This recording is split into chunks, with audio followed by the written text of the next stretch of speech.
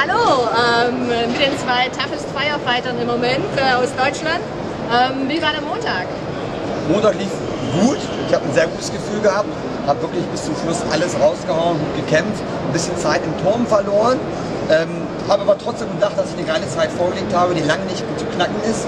Alex hat am Dienstag gleich nachgelegt und mich gerade mal um 20 Sekunden unterboten. Ich habe Riesenaugen gemacht. Geil. Super. Ja, wie war der Dienstag? Der Dienstag lief super. Äh, nach meiner Verletzungspause letztes Jahr wollte ich mich einfach mal wieder positionieren und schauen, wo ich stehe. Und ähm, dass es so gut klappt, das war eine Überraschung für mich und für alle anderen auch. Ja, ich meine, Verletzung haben wir ja mit die Q-Line auch gut äh, gekühlt letzten Wochen, oder? Ja, damit habe ich mich gut regeneriert, gut vorbereitet auf den Wettkampf, natürlich auch im Wettkampf gekühlt. Also ohne Q-Line läuft es nicht. Sehr gut.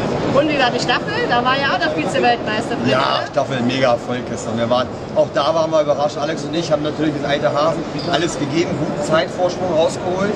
Und unsere beiden Youngstars sind über sich hinausgewachsen und haben Topzeiten für ihre Verhältnisse hingelegt. Und wir haben Platz 2, also Vize-Weltmeister gemacht. Schon geil. Genial, genial. Super, also gratuliere. Ich bin mir sicher, das wird bis zum Ende halten. Und äh, ja, mit die Q-Line kann man alles schaffen, oder? Jawohl. Ganz sicher. Super. Danke. Bitte. Ja,